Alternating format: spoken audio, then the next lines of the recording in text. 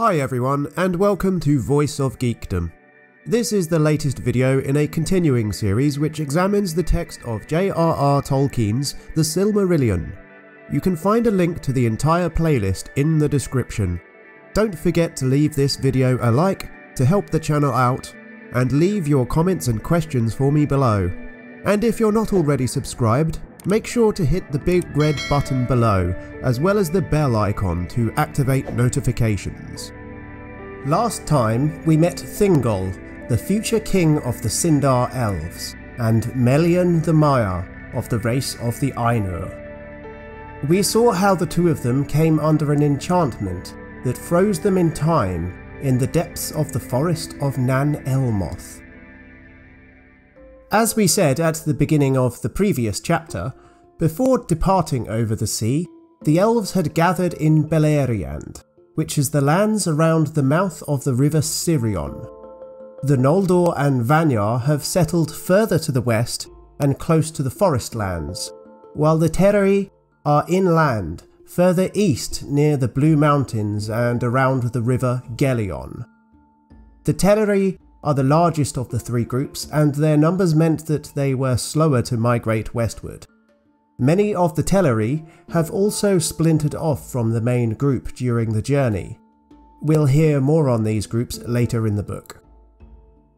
Ulmo, the Lord of Waters, comes to the shore of Middle-earth to greet the elves, and the music which he made for them on his horns of shell turned their fear of the ocean which they had never seen before, into desire, desire to see the holy land of Valinor. Ulmo is here to grant that desire.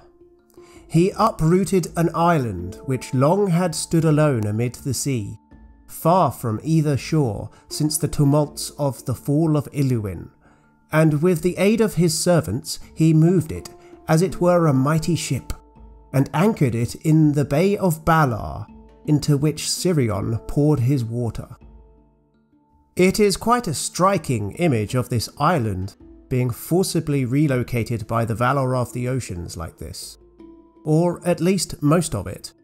Part of the island breaks off while in transit and becomes a permanent offshore geographical feature, the Isle of Balar.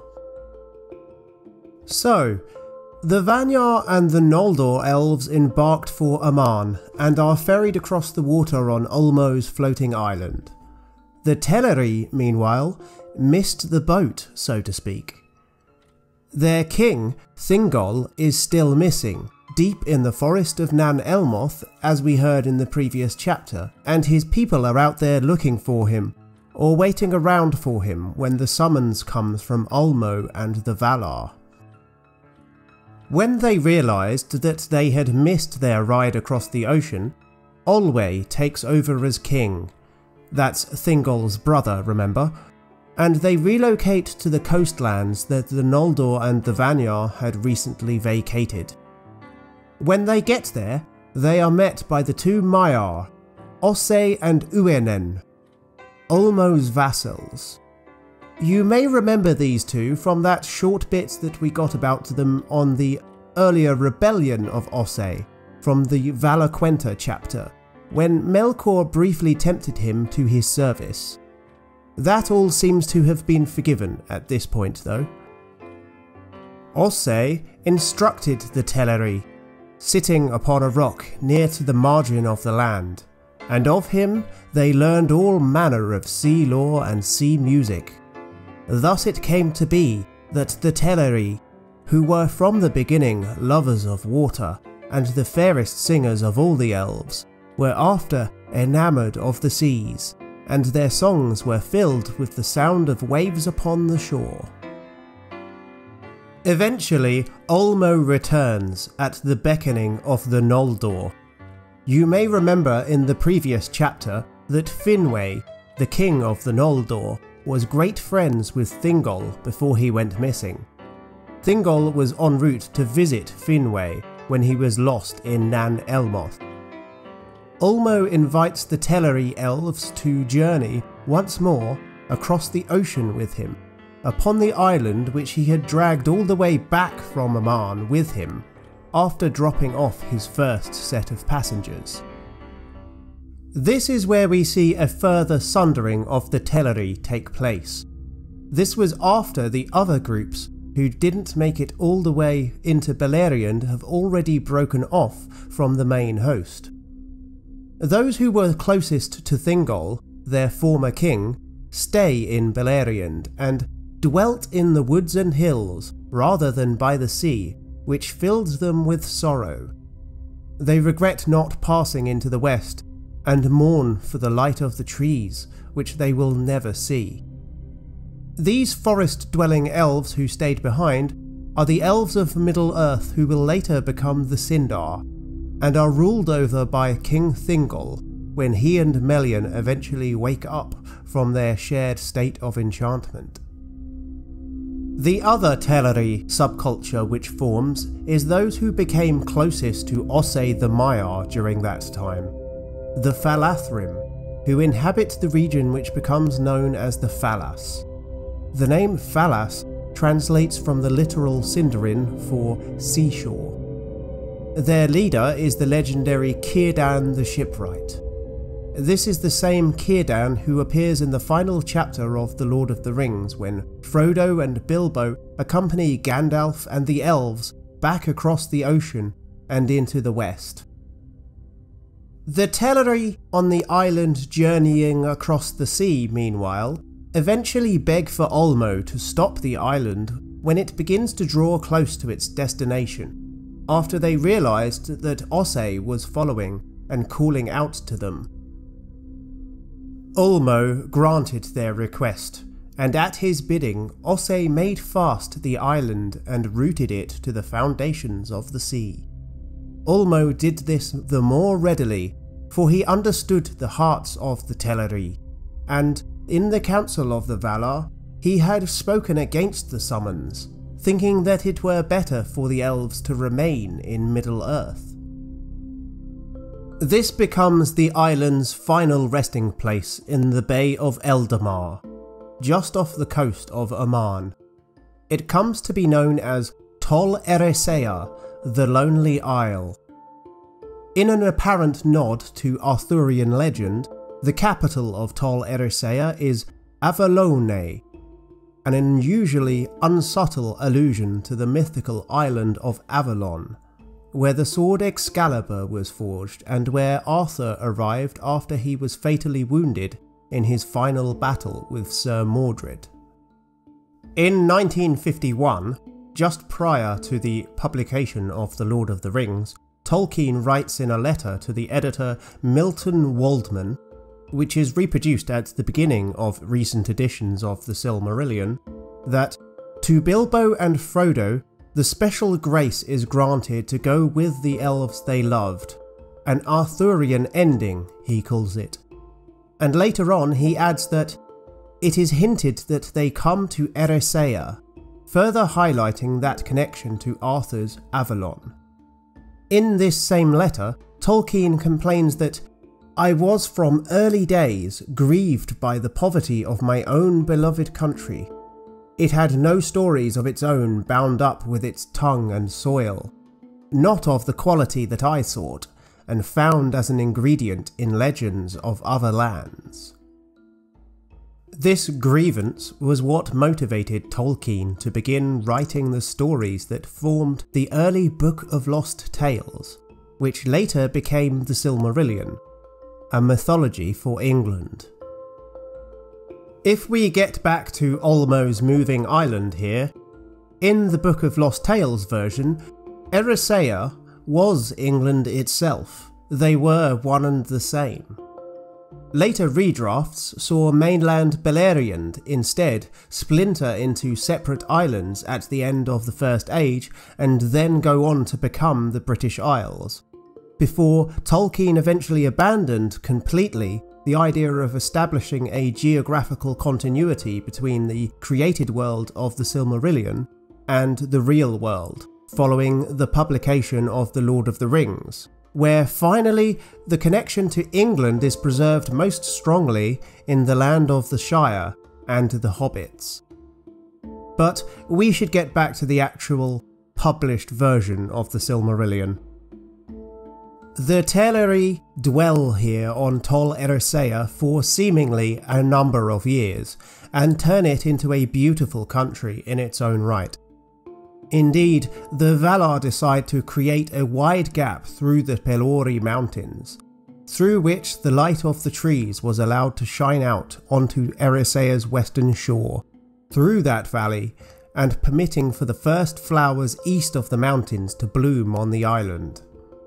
That gap in the mountain wall, the Calacirya, also then becomes populated. The Vanyar and Noldor, who have now been in Valinor for some years, we presume, established the city of Tirion upon the hill of Tuna, there in that valley, basking in the light of the trees. Eventually, the elves on Tol Eressëa finally decide to complete their long journey to Valinor. They were torn between the love of the music of the waves upon their shores and the desire to see again their kindred and to look upon the splendour of Valinor. But in the end, desire of the light was the stronger.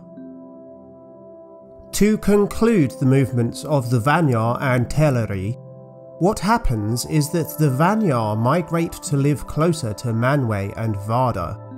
Ingwe, their king, even moves into Manwë's palace apparently, while the Teleri, having moved from the mainland, form a new coastal city further north, far outside the confines of the mountain wall, and away from the city of the Valar. Alqualondë, it was called. Part of the reason for these migrations of populations was due to Tolkien's original premise for these stories. He felt that he had to establish an historical backdrop for his created languages, i.e., the various forms of Elvish. In the Legendarium's formative years, as the language family evolved, so did the storyline. Their halls were of pearl, and of pearl were the mansions of Olwe at Alqualondë, the haven of the swans, lit with many lamps. For that was their city, and the haven of their ships, and those were made in the likeness of swans, with beaks of gold and eyes of gold and jet. The gate of that harbour was an arch of living rock sea carved, and it lay upon the confines of Eldamar, north of the Calacirya, where the light of the stars was bright and clear. We see here that the conflict between the love of the stars and the love of the sea remains a dichotomy for the Teleri elves. Bear two things in mind here though. First, all elves love the stars, the Teleri included. And we will see, by the end of the Quenta Silmarillion, the importance of stars as a source of hope and as a symbol of the power of the Valar. The Teleri simply love the ocean just as much. The ocean which echoes still the music of the Ainur. Second, remember that back in chapter 3 Ulmo was reluctant to relocate the elves to Valinor, in contrast to his other colleagues, despite the fact that here he is dragging islands around to taxi them across the ocean. As we will see over the course of the next few chapters, he may have been right to object to this plan, though. The Teleri, by tarrying in Middle-earth, splintering into factions along the way, reluctantly entering Valinor at the end of the journey, and even then finally settling outside of the reach of the light of the trees and closer to the ocean, may have been doing a good thing, and actually have been acting more in accordance with the plans of Iluvatar in doing so. So now that we've covered the movements of the Teleri and the Vanyar, finally we come to our main protagonists, the Noldor.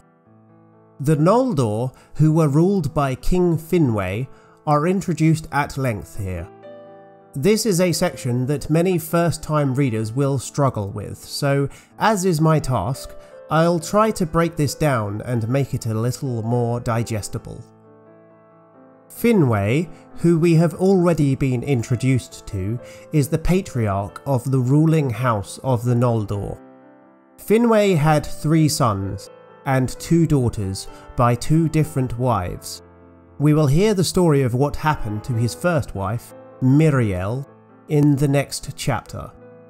Feanor, the eldest son, is an all-important character who will be introduced properly in the next chapter too, so we may as well wait until we get there to talk about him in more depth. Feanor has two half-brothers though, Fingolfin and Finarfin. These three brothers become the de facto heads of three separate houses within the Noldor's ruling family.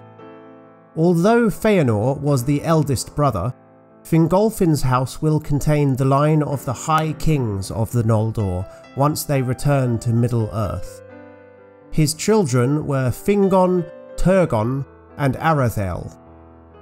Finarfin, the third brother, was the father of Finrod Felagund, who becomes a very important elf lord later on, who has many interactions with the fathers of men when they show up, and also his sister Galadriel. Yes, that Galadriel. She doesn't play a very big role in the Silmarillion, but we will see her show up from time to time, and it is, of course, interesting to note her movements and actions at this time in history, to better understand the character that we see later in The Lord of the Rings. There are several other characters who are named here for the first time in this chapter, but rather than spend a lot of time running through every single one, I wanted to add a note or two here about the formation of the various names in the Silmarillion, and offer some general advice about remembering them. My advice is, don't even try to make lists to memorise them all. Instead, pay close attention to the way that the character names are presented to us by the narrative whenever we get them. Whenever the meaning is given for a specific name, it is probably worth thinking about what that name is telling us about the character, which in turn helps with committing it to memory.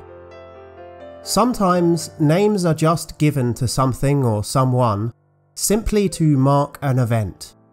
We had several good examples of this back in chapter 3. For example, when Orome first discovered the elves, we heard that he named them in their own tongue Eldar, the people of the stars. And this is because their race was born into the world under the light of the stars, and the stars were the first things that they saw when they awoke. Similarly, here when we are introduced to Feanor, we are told that his spirit burned as a flame, we're skipping ahead a little here, but in the next chapter of Feanor and the Unchaining of Melkor, we are told that his name literally means Spirit of Fire, and as we get to know this character, we will see that the name is quite a fitting one. But that's enough etymology for now. The Noldor, during this period of history, are spending a lot of time with our old friend Aule the Smith. This should come as no surprise, since we know that they have a lot in common, namely their love of craftsmanship and subcreation. This is the same desire to create, incidentally, that we were told way back in the Valaquenta that Aule and Melkor have in common. The Noldor learnt much from Aule in those days. Great became their knowledge and their skill, yet even greater was their thirst for more knowledge, and in many things they soon surpassed their teachers. The Noldor range further afield and explore much more of the continent of Aman than the other groups, a certain restlessness is implied here, as well as that unquenchable thirst for knowledge which we know is part of their culture. The memory of Middle-earth under the stars remained in the hearts of the Noldor, and they abode in the Calacirya, and in the hills and valleys within sound of the Western Sea. Many of them went often about the land of the Valar, making far journeys in search of the secrets of land and water and all living things. Next time we will meet Feanor and his brothers, and Melkor returns once again from his long incarceration in the halls of Mandos.